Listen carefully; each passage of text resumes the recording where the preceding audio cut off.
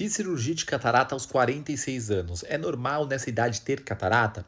Sim, pessoal. A maioria das pessoas começa a ter catarata por volta dos 40, 45 anos de idade.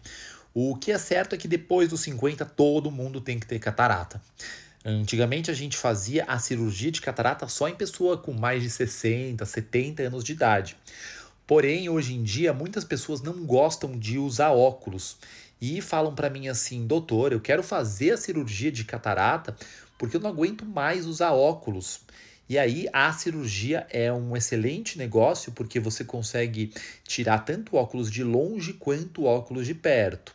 Na cirurgia eu vou tirar a sua catarata e implantar uma lente intraocular. E aí, através dessa lente, dependendo do tipo dela, ela vai corrigir miopia, hipermetropia, astigmatismo e até a presbiopia. Então imagina para você que usa óculos há muito tempo e quer se livrar, não aguenta mais, né? O óculos ele limita a nossa visão, ele tem um campo de visão, né, assim que não é amplo. E vale muito a pena para pessoas que não gostam de usar óculos.